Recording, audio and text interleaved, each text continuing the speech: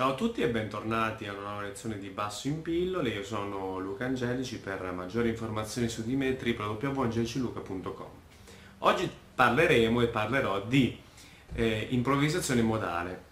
Detta così può sembrare un termine assolutamente astruso e di, di difficile comprensione, soprattutto per chi magari ha delle basi ancora non solide con l'armonizzazione delle scale e con diciamo, gli accordi relativi e con i modi, ma vedrete che grazie a I Will Survive di Gloria Gaynor anche questo brano e anche questo diciamo, eh, modo di suonare ci risulterà sicuramente più semplice e più immediato. Ok, allora ehm, andiamo subito al, al lato pratico. Per effettuare questa lezione dobbiamo aver già assimilato in maniera molto chiara i modi, le armonizzazioni della scala maggiore e quindi i gradi relativi ai modi, i nomi dei modi e tutti gli accordi relativi che si presentano nel momento in cui armonizzo una scala maggiore, quindi tutte le estensioni. Naturalmente se avete dei dubbi ancora su questo tipo di argomento potete eh, andare a recuperare delle lezioni che ho già fatto dove appunto spiego i modi e tutto quello che vi ho appena detto. Quindi andiamo proprio al lato pratico, passiamo a I Will Survive di Gloria Gaynor. Come vi ho detto prima, è un brano che ci consente di esercitarci con l'improvvisazione modale, perché è un brano che è completamente costruito sugli accordi relativi all'armonizzazione della scala maggiore di Do. Quindi un'armonizzazione tra l'altro abbastanza semplice che non presenta alterazioni in chiave. E um, andiamo proprio a vedere gli accordi nello specifico per come si presentano nel brano e per come poi appunto noi troveremo nella base che ho preparato. Perché non posso utilizzare il file originale per ovvi motivi di copyright.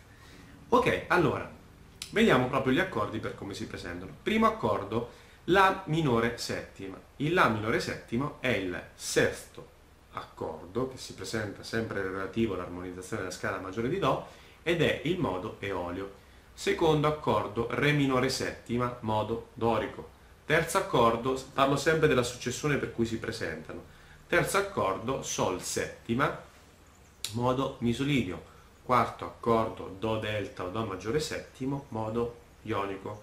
Quinto accordo, Fa delta o Fa maggiore settimo, modo lidio.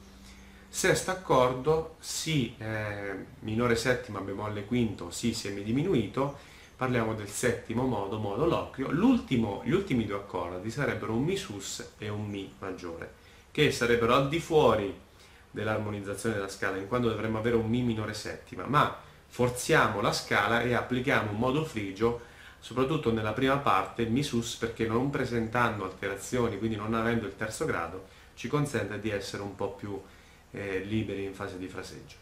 Quindi questi sono gli accordi per come si presentano. Andiamo a vedere nello specifico l'esercizio che vi consiglio.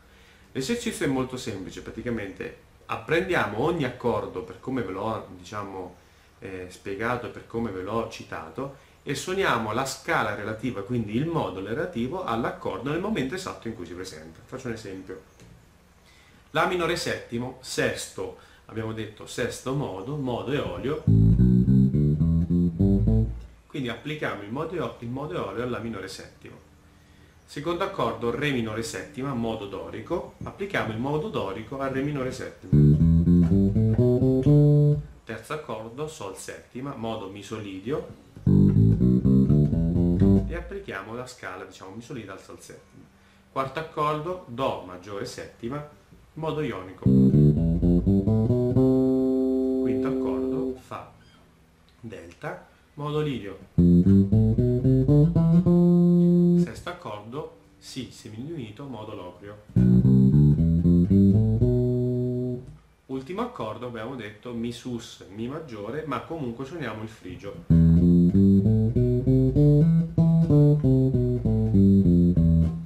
E poi ricominciamo da capo l'esercizio. L'obiettivo qual è? Cercare di dare una fluidità praticamente all'esecuzione delle scale nel momento in cui cambiano gli accordi, quindi abituarci ad applicare una scala all'accordo e al cambio di accordi, sfruttando appunto i modi.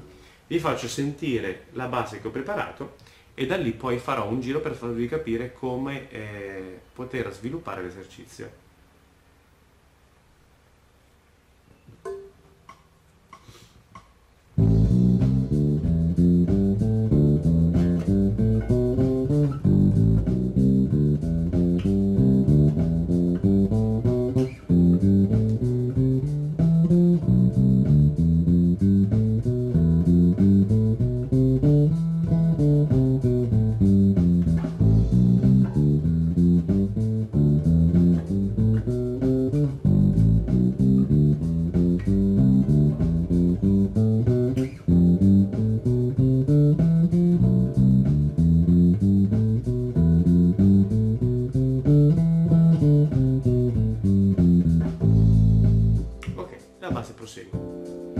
Potete vedere ho, non ho fatto altro che applicare appunto i modi nella successione in cui il brano mi presenta gli accordi e suonare le scale relative al modo.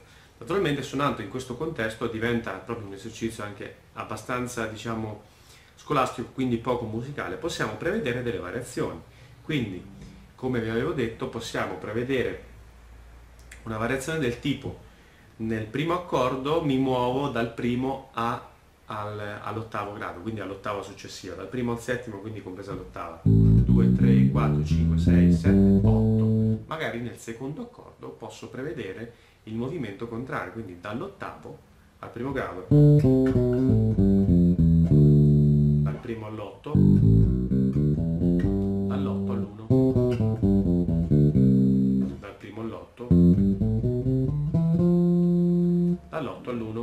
dal primo all'8, dall'8 all'1, scusate.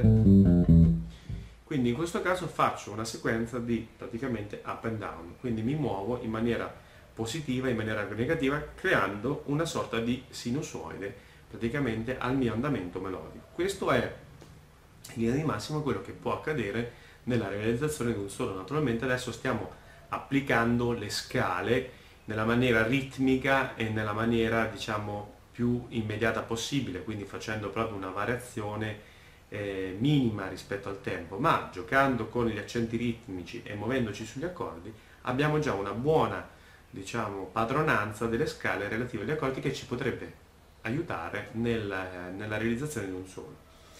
Un'altra variazione che noi possiamo fare all'esercizio è quella naturalmente di applicare le scale nella parte superiore del manico, ovvero cerchiamo di estendere le scale eh, diciamo concentrandoci più sulla parte dove il registro del basso è più acuto, quindi abbiamo un suono più brillante. Faccio vedere che cosa, a cosa mi riferisco.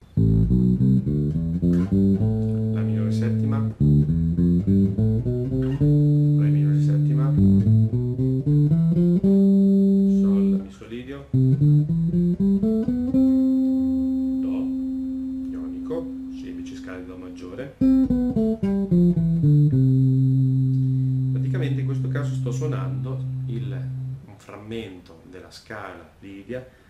praticamente partendo dal quinto grado, quinto, quarto, video, terzo, secondo, primo, sull'accordo di Fa. Proseguo poi Si, eh, l'occhio, e poi torno al Mi frigio. Facendo così che cosa ho fatto? Ho spostato praticamente la scala dal eh, da là, partendo dal quinto tasto sulla corda di Mi, cercando di andare a suonare in questo registro, in modo da dare una sensazione melodica più vicina a una fase solistica, quindi a, un fase, a una diciamo, liricità del suono più adatta a una parte solista. Naturalmente appunto questo brano e questo tipo di eh, sequenza di accordi ci consente appunto di esercitarci nella maniera eh, più eh, costante possibile senza nemmeno ricadere nel nella noia di dire dove applico questi accordi, a quale canzone posso applicare le scale, perché uno dei problemi cui io magari studio le scale, studio gli accordi, ma poi non riesco mai a mettere in pratica o a capire dove poter utilizzare queste cose. Questo è un brano guida, un esempio molto pratico per cui se un domani ci dovessimo trovare a fare un solo su I Will Survive, sappiamo già che possiamo applicare tutti gli accordi relativi all'armonizzazione della scala maggiore di Do. Ultimo esercizio che vi consiglio è quello di fare, una volta che avete un po' sviluppato la praticità, quindi siete un attimino più allenati, di fare le scale in maniera eh, up and down, quindi in andata e ritorno sostanzialmente, partendo, mantenendo sempre un accordo alla volta. Vi faccio capire che cosa intendo.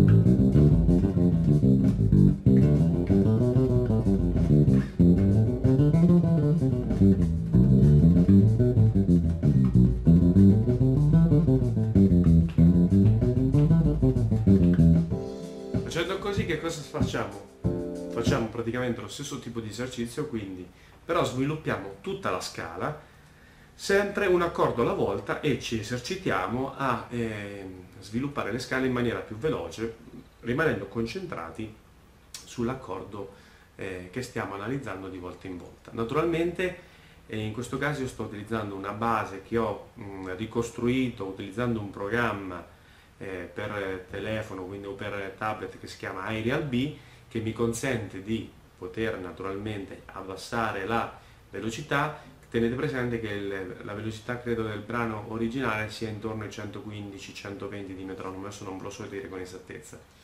E in questo caso io sto lavorando intorno ai 100 quindi comunque se volete potete provare a scaricarlo o acquistatela costa una decina di euro. Secondo me comunque è un'applicazione molto valida che ci consente di poterci esercitare su molti brani e su molti diciamo eh, pattern perché ci sono proprio diciamo, diversi eh, esercizi proprio per chi si vuole eh, allenare con sequenza armonico o altre cose quindi Facciamo solo un breve riepilogo come faccio ogni volta a fine lezione.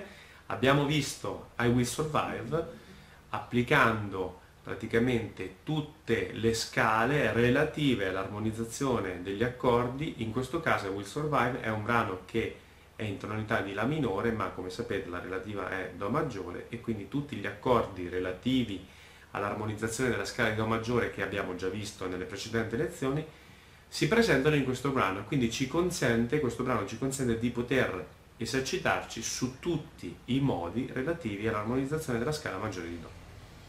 Detto questo è tutto, non mi resta che salutarvi, augurarvi buono studio e alla prossima lezione di Basso in Pillole ciao a tutti Luca.